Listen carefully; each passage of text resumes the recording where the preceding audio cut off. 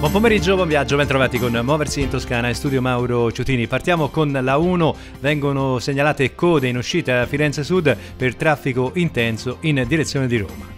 In A1 panoramica stanotte e domani dalle 22 alle 6, chiuso per lavori il tratto tra il Bivio A1 variante località Baccheraia e Roncobilaccio verso Bologna.